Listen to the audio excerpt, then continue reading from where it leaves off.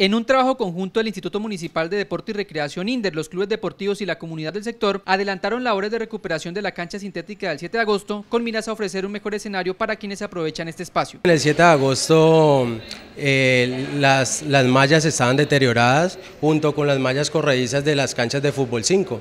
Entonces con, con colaboración de los clubes deportivos y la Junta de Acción Comunal se reunieron para hacer estas mejoras y, eh, y mm, que el campo no se deteriorara tan rápido. Con estos trabajos mancomunados que incluyeron la limpieza de los alrededores de la cancha, se beneficiarán cerca de 700 niños que realizan actividades deportivas en este escenario. Nosotros debemos tener un sentido de pertenencia, tanto es de toda la comunidad como es del INDER, como es del Estado, como es de todos los que estamos utilizando la cancha sintética. Y la idea es que no lo dejemos caer. Una vez finalizadas estas labores en el 7 de agosto, donde también se instaló unidad sanitaria, el trabajo continuará en otros escenarios deportivos de la ciudad.